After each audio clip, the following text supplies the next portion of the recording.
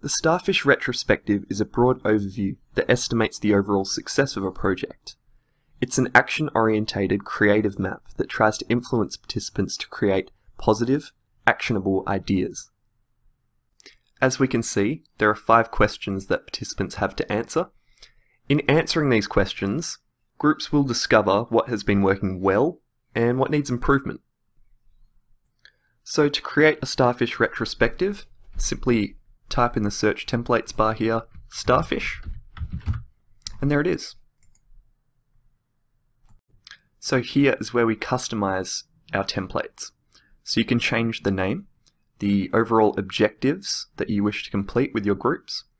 You can actually change the design if you wish, change colors, change questions, um, and the overall processes involved in the map itself you can go through as the facilitator and say, hey, I want only me to be able to add ideas to this map.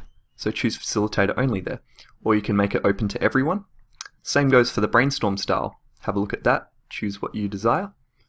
We can go into grouping, um, make that facilitator only or for everyone to be able to group ideas. You can change the number of dot votes you wish to give participants, edit the action phase and even the results phase.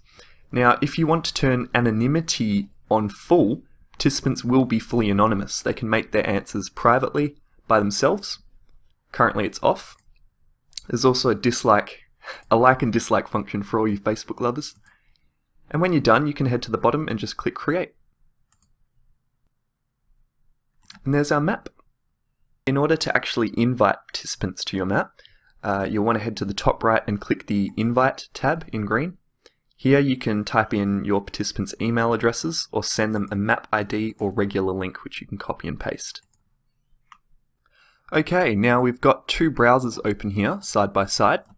Uh, let's say that this is the facilitator here, and this is a participant. So just to show the real-time aspect of GroupMap, as the participant types in their answers,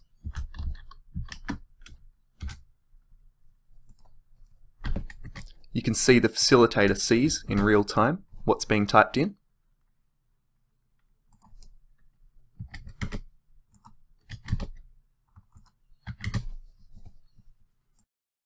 As participants are adding their thoughts, they can also actually click on these.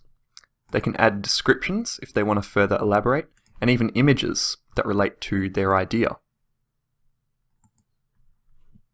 So as we move on to the grouping stage, here, as a facilitator, you can go through and say, okay, ideas 1 and 2 here are quite similar. Let's group those together. If for whatever reason you think, whoops, shouldn't have done that, you can click on this little cross here and they go back to where they were. Now here in the voting stage, uh, this is where participants place their dot votes. So you'll remember earlier in the customization phase we had the option as the facilitator to give participants a number of dot votes this is where they place them. Now for the all-important action phase.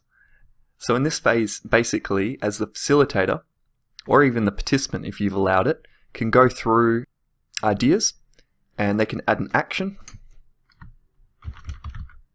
to any person and you can actually choose the time you want this action to be completed by as well. So that's a really handy feature. Finally, the Results tab. So here really, teams can just sit back and have a look at, you know, all the decisions that have been made, actions to be taken, uh, votes, so which ideas were most popular. Yeah, it's just a good overview before we head on to the final reports stage. So here in reports, uh, basically participants and facilitators can go ahead and export all of the results as a JPEG or PDF. You can also download the results, the map itself as a JPEG image or a PDF image. The reports is a really good overview of each actual step that's been taken, so you can have a look at this once you're done.